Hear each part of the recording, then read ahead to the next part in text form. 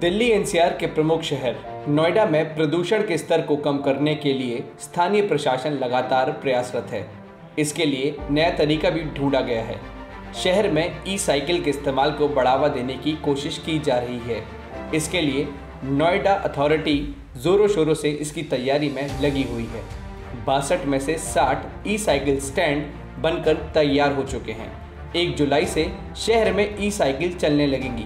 ई cycle चलाने और उनके रख रखाव की ज़िम्मेदारी प्राइवेट कंपनी को दी जा रही है। साइकिल के किराए और स्टैंड पर लगने वाले विज्ञापन से कंपनी की इनकम होगी। ऐप की मदद से साइकिल लॉक और अनलॉक भी होगी।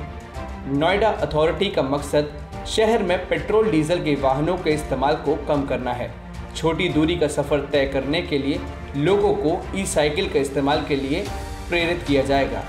इसी को ध्यान में रखते हुए अथॉरिटी ने साइकिल स्टैंड का निर्माण भी कराया है। अगर आप अपने घर से निकलने के बाद सरकारी दफ्तर, मेट्रो स्टेशन, मुख्य बाज़ार और बस स्टैंड जाना चाहते हैं तो आपको हर जगह आसानी से ई साइकिल मिलेगी। अथॉरिटी के अफसरों का कहना है कि ई साइकिल की रफ्तार 25 किलोमीटर प्रति घंटा की होगी। बैटरी निकालने के बाद साइकिल का वज़न 60 किलोग्राम से ज़्यादा नहीं होगा।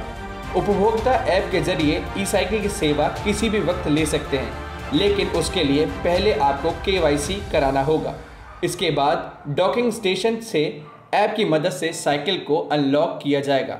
इतना ही नहीं, डॉकिंग स्टेशन पर वापस आने के बाद साइकिल अपने आप लॉक भी हो जाएगी। ई साइकिल की सेवा पूरे हफ़्ते सुबह पाँच बजे से रात ग्यारह बजे तक मिलेगी।